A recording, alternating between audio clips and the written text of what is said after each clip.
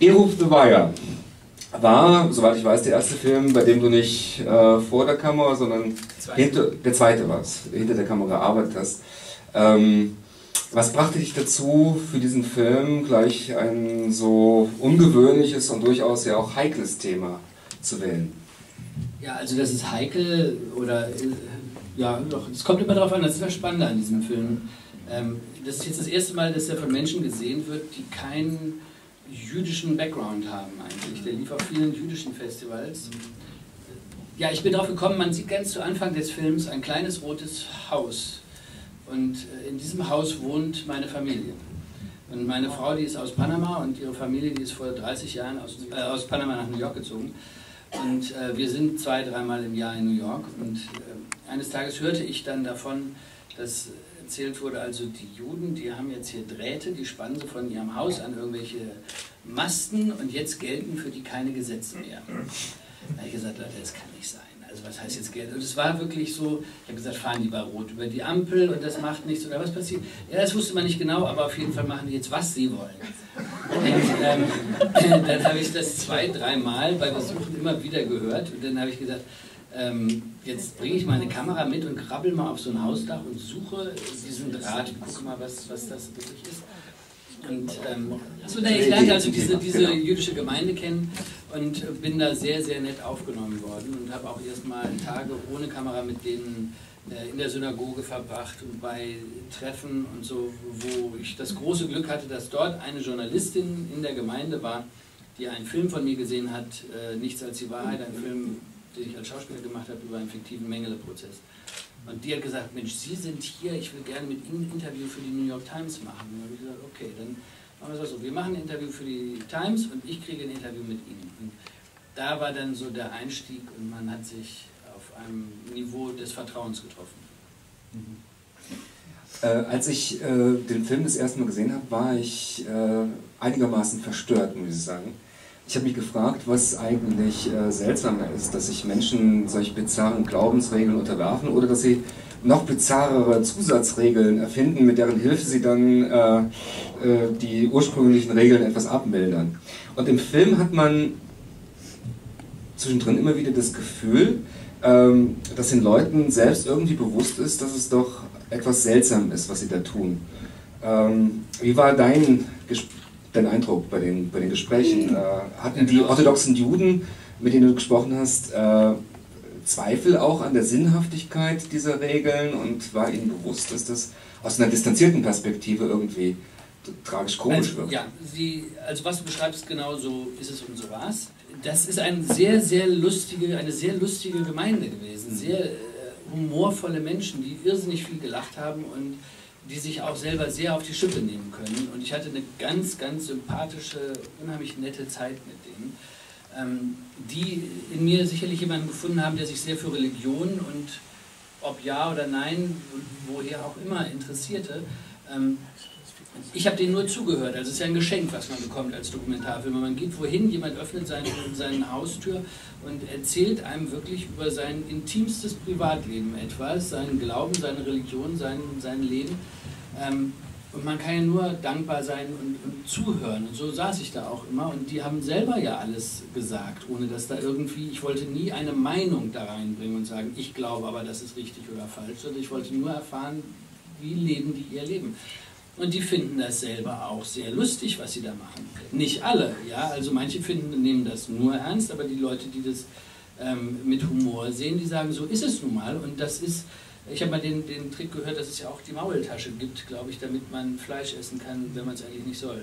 Mhm. Damit das irgendwie so eingewickelt ist. Und so ein bisschen ist der Arrow so eine Art Maultasche, glaube ich, dass man ähm, etwas tun kann, was man eigentlich nicht sollte.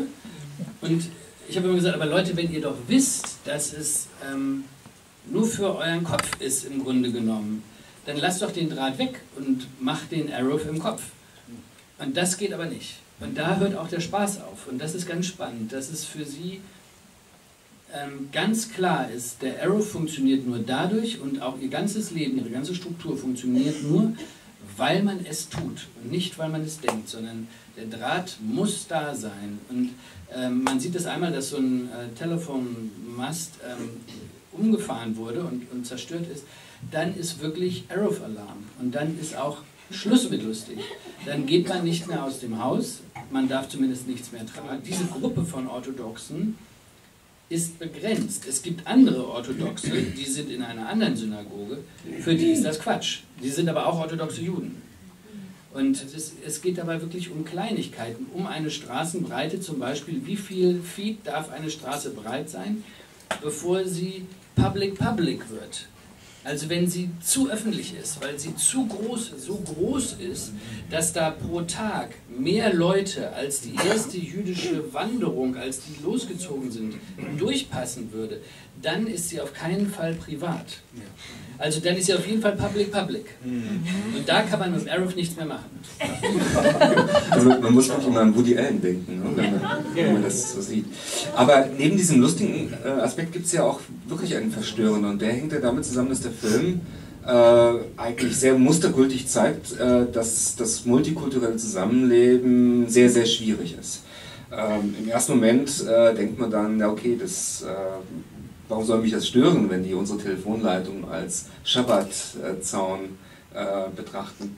Aber mit der Zeit stellst du dann fest, dass sich ja die Umgebung langsam verändert und du wirst eben schief angeschaut, wenn du bei so einem Wetter den Regenschirm aufspannst, ja, weil das nämlich von orthodoxen Juden als Bau eines Zeltes äh, interpretiert wird, was natürlich am, Schabbat äh, strengstens, allerstrengstens verboten ist.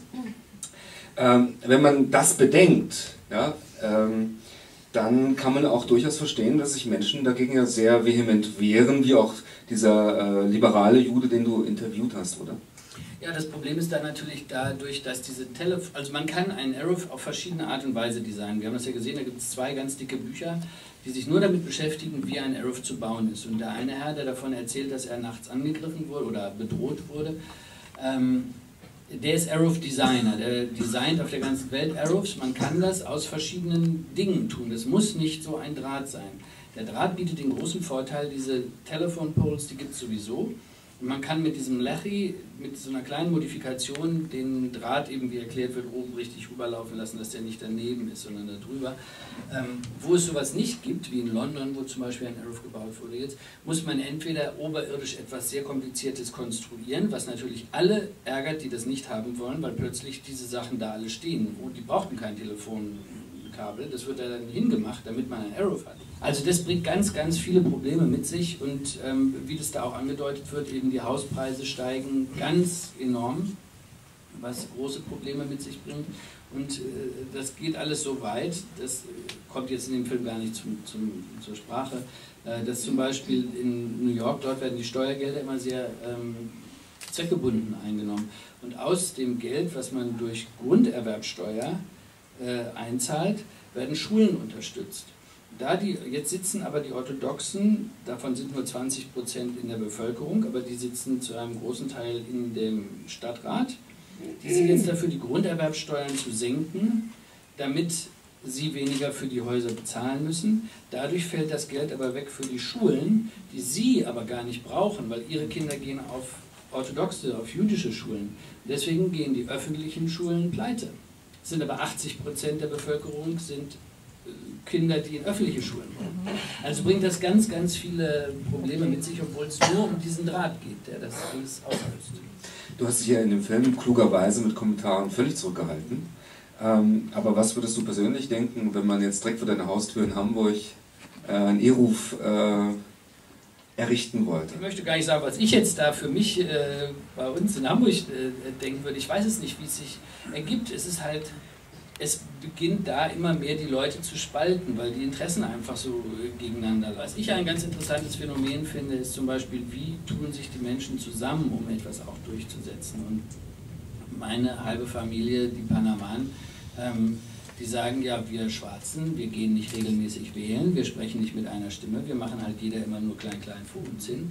Die viel kleinere Gruppe von orthodoxen Juden spricht aber mit einer Stimme. Mhm. Das heißt, die entwickeln mhm. Kraft. Die ganzen anderen Religionsgruppen haben keine Kraft, weil mhm. sie jeder nur für sich denken. Ja?